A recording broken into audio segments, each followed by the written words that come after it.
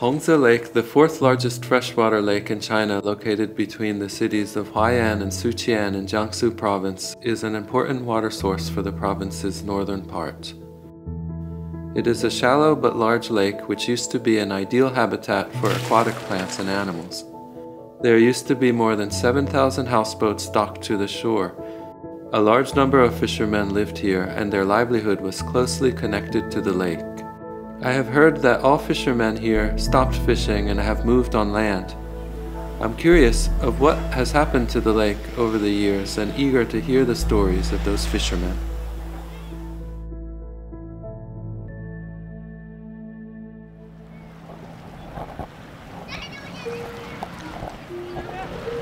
This is Yang Junru, a fisherman from Hongxiang village in Hongze district of Huai'an City. He fished on the lake for nearly 40 years until the fishing ban took effect two years ago.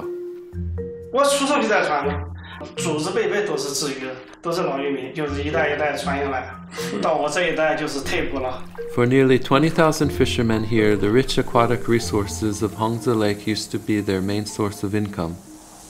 The simple truth is that the more fish there are in the lake,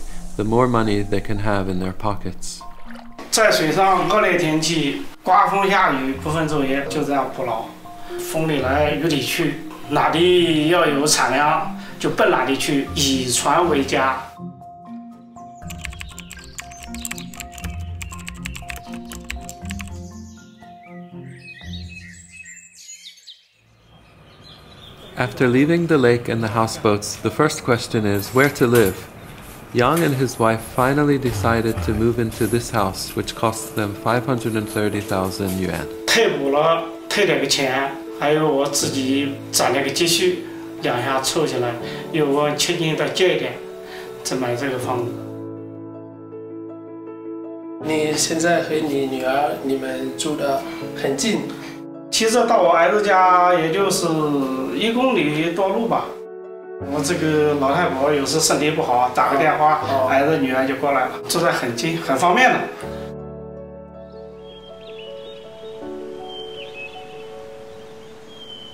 三万两毛，三万两千。不知道什么时候产。你那个大的，你给个例子来嘛，我们就卖就卖高价的呀。Apart from housing, employment is also a big problem. At first, some fishermen felt at a loss. Life became uncertain for them, as they did not know where and how to earn money for a living. Fortunately, in September 2020, Zhang Jun, secretary of CPC branch of the village, established a cooperative crab breeding base to prepare fishermen for their reemployment. 当时的这个渔民啊，我们成立了一个合作社，嗯，然后到到岸上从事这个水产养殖。当时有十户，就是有意愿想参加这个养殖的。我们这里的那个岛有多大？ 呃，我们这个合作社的养殖面积呢，总共是四百三十亩。包括这个我们老杨啊，也是我们这个股东之一。 Every afternoon at 4 p.m., Yang and his friends start the feeding work.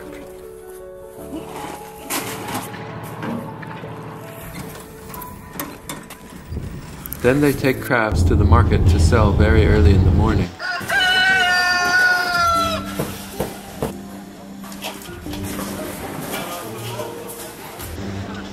One year later, these retired fishermen have already become very experienced and optimistic about this industry.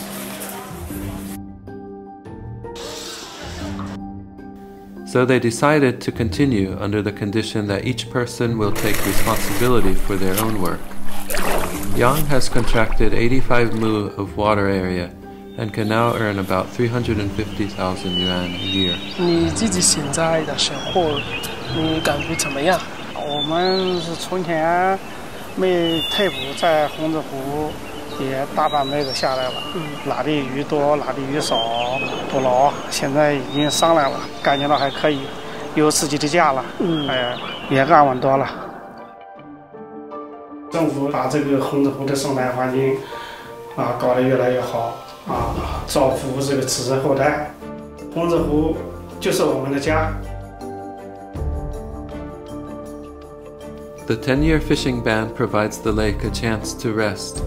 allowing fish to grow up and reproduce for about two to three generations without interruption from human activities, which contributes a lot to the preservation of biodiversity, ecological environmental protection, and restoration.